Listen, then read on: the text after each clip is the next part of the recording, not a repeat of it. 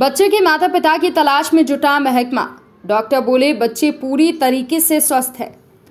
Child conservation foundation ने जंगल में मिले बच्चे का जाना हाल। जंगल में पत्थरों के बीच दवा मिला था नवजात। शिवपुरी के पोहरी के ग्राम सरजापुर गाँव में इंसानियत को शर्मसार कर देने वाली घटना सामने आई थी। यहाँ पर एक नवजात बच्चे को ज़मीन में आधा ज़िंदा गाड़ दिया था। निर्दय इतने पर भी नहीं रुके थे। नवजात के ऊपर एक पत्थर और कंटीली झाड़ियाँ रखकर मौके से लापता हो गए।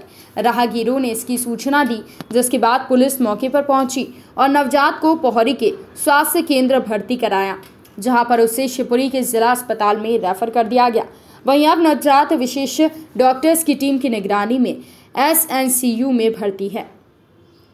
जिला अस्पताल के एसएनसीयू में भर्ती नवजात की देखरेख कर रहे ब्रजेश मंगल डॉक्टर ने बताया कि बच्चे को बीते रोज भर्ती कराया गया है, जिसका स्वास्थ्य परीक्षण किया गया। बच्चे की भर्ती होने के बाद उसे निगरानी में रखा गया था। बच्चा अब स्वस्थ है, बच्चे का वज़न भी दो किलो से ज़्यादा है। पोहरी के ग्राम सरजापुर गाँव में कंटीली झाड़ियों के बीच मिले नवजात की तलाश। अब बाल आयोग के साथ पुलिस ने तेज कर दी है। संबंधित टीमों के द्वारा लगातार ग्रामीण क्षेत्रों में जाँच पड़ताल की जा रही है। जानकारी एकत्र करने का प्रयास किया जा रहा है कि बच्चे को जंगल में किसके द्वारा लाकर छोड़ दिया गया। इधर शिवपुरी के जिला अस्पताल में पहुँचे चाइल्ड कंजर्वेशन फाउंडेशन की शिवपुरी इकाई के सदस्य व बाल कल्याण समिति शिवपुरी के पूर्व अध्यक्ष अजय खेमरिया ने बताया कि बच्चे की एडॉप्शन की प्रक्रिया बाल आयोग के द्वारा नियमानुसार की जाती है। अंदर में आई थी और क्या था?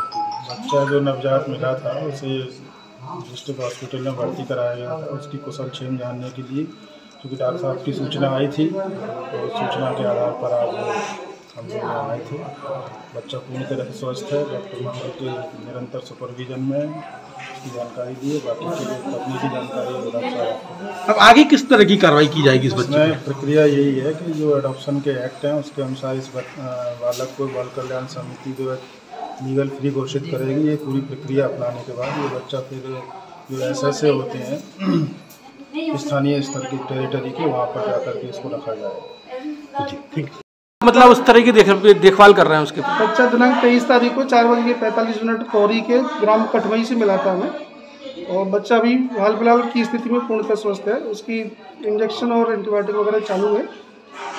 अभी हाल फ़िलहाल बच्चा स्वस्थ है।